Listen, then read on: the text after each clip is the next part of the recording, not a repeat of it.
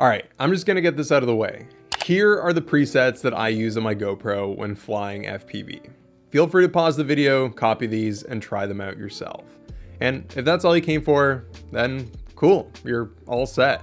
You could probably turn off the video now. But there was one of you in one of my recent videos that caught my attention, asking if I could do a full FPV centered GoPro tutorial, explaining not only what my settings are, but why I've chosen them. Specifically, Alicia asked for a video that could help even those of you with zero camera knowledge, who might have never used manual settings on a camera before, so that's what I'm going to attempt to do. I've decided to start right at the beginning and explain the significance of a few camera basics first, specifically resolution, shutter speed, frame rate, and ISO. Uh, if you already know all that and you just want to skip ahead, feel free to jump to here. But I do think that understanding these four basics first is really critical. I also think this might be one of the hardest videos I've made to date. So if any of you guys find this helpful, just giving this video a like and possibly subscribing would really help a lot. But anyways, let's get into it. These are the resolutions available on the GoPro Hero 10. And for the most part, the choice is simple. The higher the resolution, the more detail or quality you will have in your image. Here's an example of a clip in 4K resolution. Now here's another in 2.7K, one in 1080p, and one in 720p. Now 720p looks great when you're watching it on a small screen, like on your phone, but if you stretch it out onto a bigger screen, it starts to look pixelated. However, each GoPro will have some limitations for the options that are available at its highest resolution. As you can see, if I set my new Hero 10 to 5 or 5.3K, which is the highest resolution possible, it can film a maximum of 60 frames per second, and the widest camera angle available is wide. If I lower that resolution to 4K though, I can now shoot up to 120 frames per second, and I get an even wider option called Super View. So depending on what you're shooting and what your preferences are, there are times where you'll have to sacrifice resolution in order to shoot at a higher frame rate or with a wider lens. Now, the other thing you wanna make sure of when choosing a higher resolution is that your computer is powerful enough to handle it. The more detail your image has, the tougher it'll be for computer to process it. And it might make it easier for you to use 4K, 2.7K, or maybe 1080p because of your computer's limitations. So before you go out and film your epic footage, maybe do a test run first and make sure that you'll be able to work with it after. A bigger resolution is always better, but if you can't work with it afterwards, then what's the point?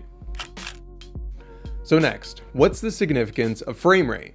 Well, a video is essentially a series of still frames that are played back quickly to create a moving image. The frame rate determines how many of these frames will play back per each second in your video.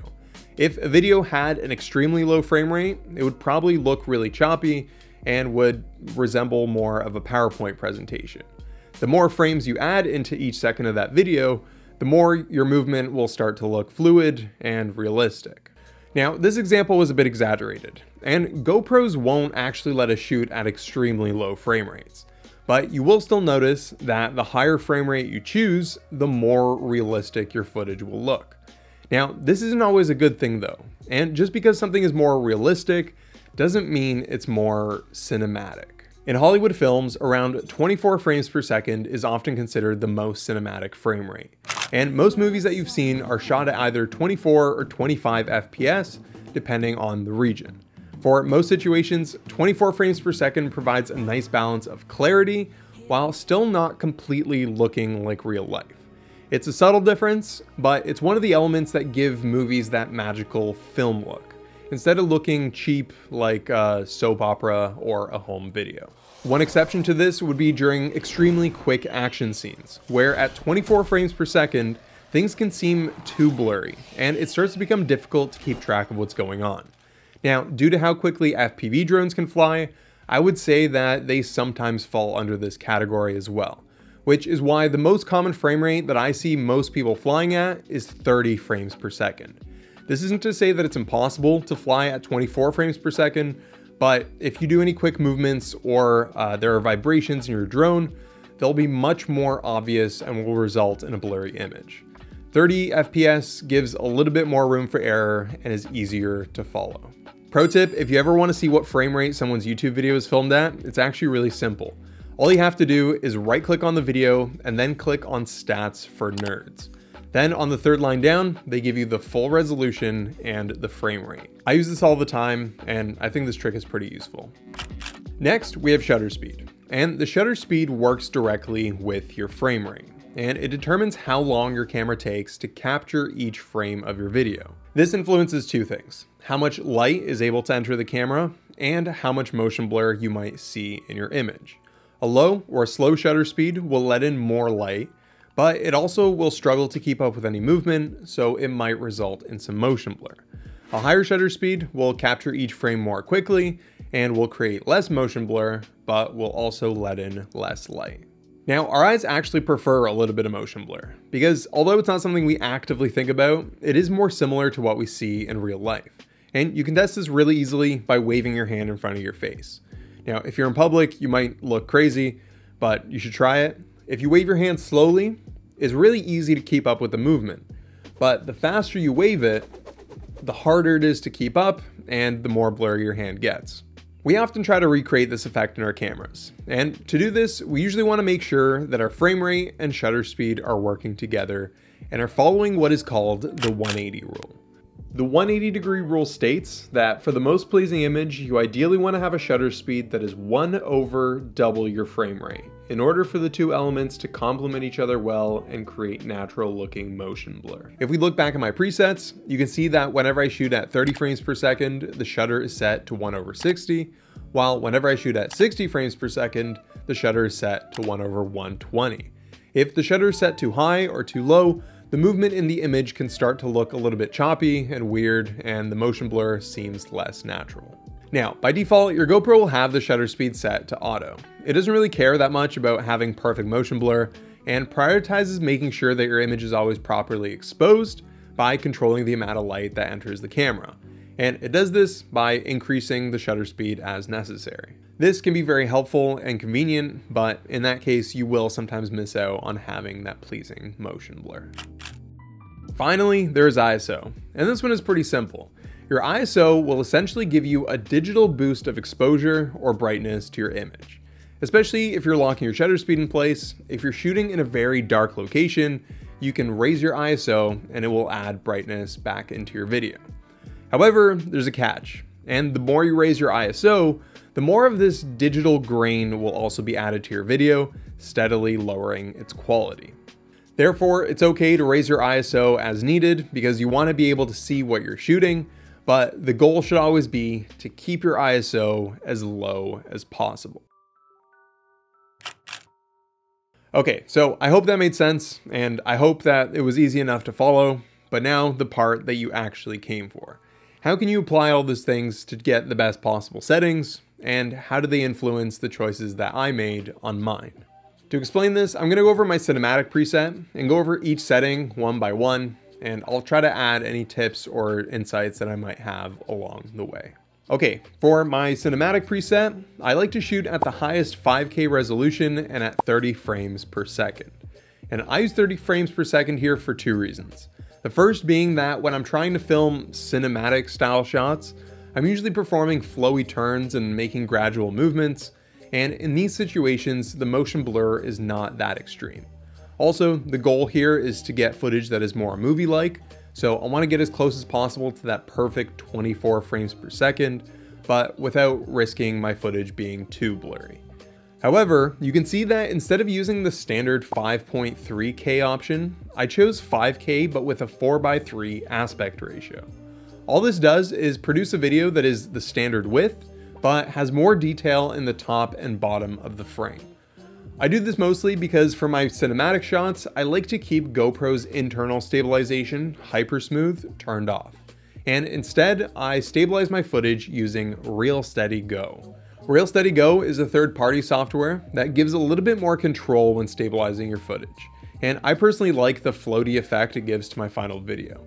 However, in order to stabilize your footage, ReelSteady Go has to crop in your image a little bit, and the 4x3 aspect ratio gives it a lot more room to work with. This way, after it's done cropping your video, you will end up with a standard 16 by 9 aspect ratio, which you're used to seeing, while if you start with a 16 by 9 clip, sometimes you will end up with a shot that is cropped even further, uh, which what I think is 21 by 9. Now, I don't use ReelSteady for freestyle because I find that it doesn't do as good of a job when maneuvers are extremely complex. Uh, in those situations, I do use Hyper Smooth. Uh, I find it to be more appealing. However, when you're bombing down a mountain or chasing an object and trying to get a cinematic looking shot, in my opinion, ReelSteady wins by a long shot. Next, when it comes to the lens or width of my shot, instead of using Super View, for my cinematic preset, I will almost always shoot using wide or even linear. Super View gives your image an extremely stylized fisheye look that GoPro is famous for. And although it looks pretty cool, the problem is that, well, it looks like a GoPro video. And if you look at FPV footage from someone like Johnny FPV or Nicolas Gaillard or any other cinematic FPV pilots, Sometimes it's really hard to tell whether they filmed on a GoPro or a professional cinema camera.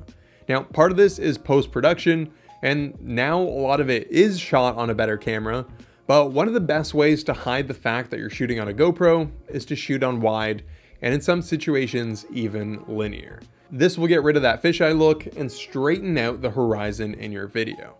Now, I noticed that some of this lens distortion also gets fixed when I stabilize in ReelSteady Go, but I like to leave as little as possible up to the software to fix, and I find that it works better if you do it ahead of time in the GoPro as well. Next, my shutter speed is set to 1 over 60 so that I'm following the 180 rule and doubling my frame rate. But here's where things get tricky. Although following the 180 rule and having a low shutter speed of 1 over 60 will give me that natural motion blur that I'm looking for, it also poses an issue. In almost all lighting situations, having a shutter speed of 1 over 60 would be considered very low, and will probably bring in way too much light into the camera, causing an overexposed image. Like I mentioned, this is why by default your GoPro will have the shutter speed set to auto. Normally the GoPro would prioritize exposing your image correctly, and it would do so by cranking up your shutter speed to let in less light, but now we're stopping it from doing so. And that's what these are for. This is an ND filter, and it pretty much acts as sunglasses for your camera. They simply attach to the front of your camera and limit the amount of light that can enter it. The brighter it is outside, the darker of an ND filter you would attach on the front until your exposure is regulated.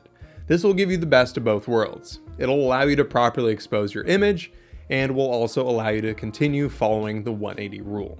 I use these ones made by Polar Pro. I have no affiliation with them in any way, but I do think that they work really well. Uh, they also replace your original lens cover instead of stacking on top, so you don't have too many layers of glass over your lens. Uh, if you guys are interested, I'll leave a link to these down below. All right, getting back into it, next we have bitrate, which is also directly related to the quality of your video, and this should always be on high. Now, unless you are really worried about file size, having a high bitrate is helpful when you're uploading your video to YouTube or to another platform. A high bitrate will help counteract the compression that these social media platforms put on your videos, uh, and will just make your upload look a little bit better. Next, we have EV compensation. With this setting, you would normally tell your GoPro what level of exposure you want it to achieve when all your settings are set to auto. But since we're setting things manually, this isn't something we have to worry about. I then set my minimum and maximum ISO to 100 to lock it in place. Now, most GoPros do a pretty good job at maintaining a clear image up to ISO 400. Anything higher than that will start to add too much grain into your video. Now, if you are flying in a location that has both really dark and really light areas, you might have no choice but to set your ISO max to 400 or even 800. And by giving your GoPro a range of ISOs, it will allow the camera to automatically brighten up when your image gets too dark, so you can continue to see clearly as the lighting conditions change. But I try to lock it at 100 whenever possible because this gives me the most control over the exposure and it also makes color correction a lot easier. All right, white balance. In order to make sure that my white balance is always correct, I will make sure to adjust it before every flight. To make this easier, I added white balance as one of my home screen shortcuts which can also be adjusted in your preset settings. As a rough guide, 3200 Kelvin will match the color of indoor lights, 52 Kelvin being the color of daylight, and 6000 Kelvin commonly used for an overcast sky. So you'll want to adjust your white balance based on your location. This will give you a little bit more control instead of leaving it all up to the GoPro to decide. Now, fun fact, I'm actually somewhat colorblind, so this is probably what I struggle with the most, but using those numbers that I gave you as a rough guideline definitely makes the process a lot easier. Next, my sharpness I set to low because I find that GoPro tends to add a lot of sharpening to every video. This again allows me to add as much sharpness as I want in post-production. Finally, I set the GoPro color to flat. Now, the flat color profile actually takes away some of the contrast and saturation in your image. Now, straight into the camera, this might look a little bit boring, but by doing so, your camera actually picks up more details in the shot. Again, it also allows you to have more control over how the final image will look with some editing and post-production. Uh, if you are someone who uses LUTs, uh, most LUTs will also add contrast back into your image, so they will actually look a lot better with a flatter color profile. Also, if you ever wanted to bring back your image to look like the standard GoPro colors, all you have to do is raise the contrast, raise the saturation, and you're good to go. You're back where you started. All right, and yeah, pretty sure that's it. Now, I know there's a lot of information to unpack in this video. Uh, you might have to watch it again to really take all of it in. Uh, hopefully I was clear with all of that.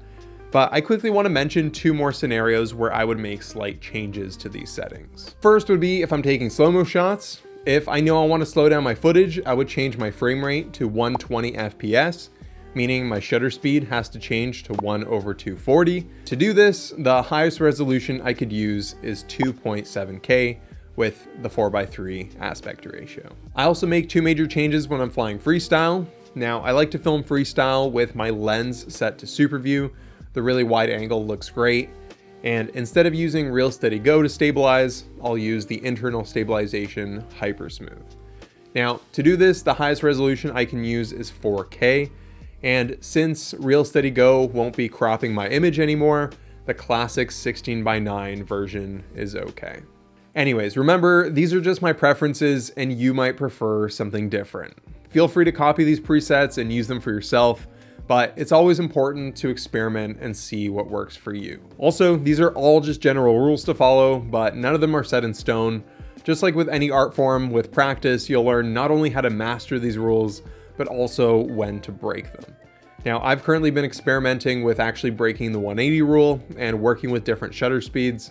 It doesn't always work out, but there are situations where I've liked the results. So experiment, have fun, and thanks for watching this video and I'll see you guys in the next one.